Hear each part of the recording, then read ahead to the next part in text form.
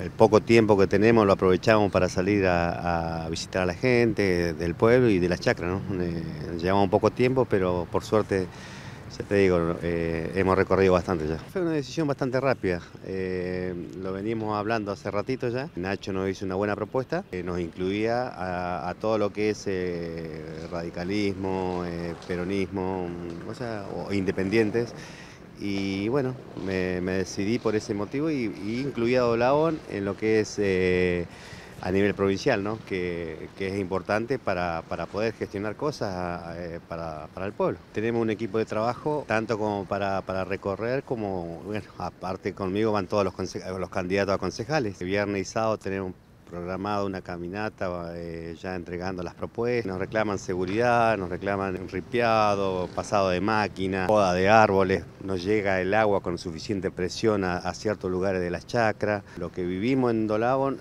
la gente que vive en Dolabón eh, ve otra cosa. Digo, está lindo para la gente de afuera, es lindo de visitar Dolabón, pero eh, faltan, faltan muchas cosas que se viven ahí en Dolabón eh, que la gente lo sabe y bueno, nosotros estamos como para una alternativa más, ¿no? Si bien eh, la, política tiene que estar en el club, eh, ayudando de alguna forma, no solo al club, sino a todas las instituciones,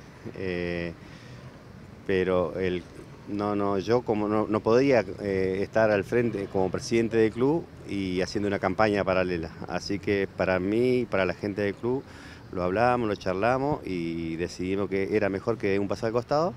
Sigo colaborando con los chicos, eh, pero desde otro lugar. Y, bueno, eso va a ser siempre, ¿no? Porque uno es, del club, es parte del club y va a seguir siendo siempre.